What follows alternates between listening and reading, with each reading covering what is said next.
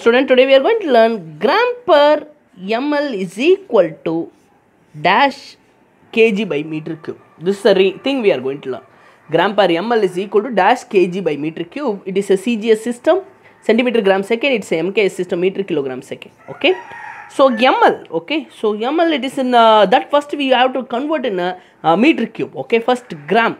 We'll take it. We'll convert first gram to kilogram, then ml to say, uh, meter cube. Okay.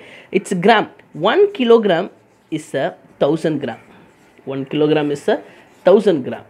Okay. One gram is equal to how many kilogram? One gram is equal to how many kilogram? This thousand you can bring it here. So one gram is equal to one kg divided by thousand. So 1 gram is equal to 1 divided by 1000 kg. Okay. So 1 gram is equal to 1 divided by 1000 kg. The same thing ml to meter cube. So 1 ml is equal to 1 ml we can take it as a 1 ml we can take it as a 1 centimeter cube. Okay. So 1 ml we can take it as a 1 cc. 1 cc we can take it as a 1 centimeter cube.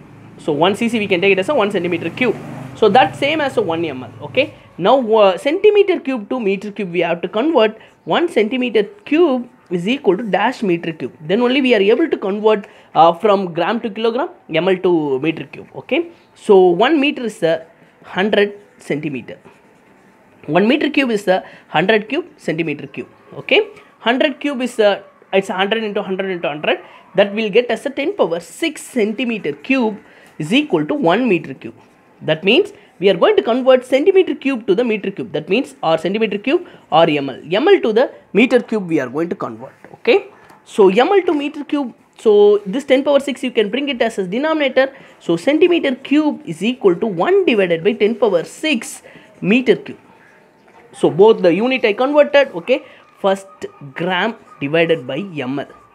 This we are going to convert as kg. Gram to kg it's divided by 1000 gram to kg divided by 1000 ml to ml to meter cube ml to meter cube that is called centimeter to meter cube it's 1 divided by 10 power 6 so 1 divided by 10 power 6 centimeter cube it's called meter cube okay? Centimeter cube to meter cube we are converting. Ml is also called centimeter cube okay? This 10 power 6 you can take it as a denominator.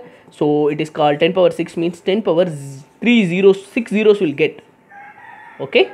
So 6 zeros divided by 3 zeros you'll get kg divided by meter cube. So 0 0 0 get cancelled. Only 3 zeros will be in remaining okay so that is the thing. Finally we got kg by ml is equal to 1 gram by ml is equal to 10 power 3 kg divided by meter cube. Thank you for watching my channel. Please subscribe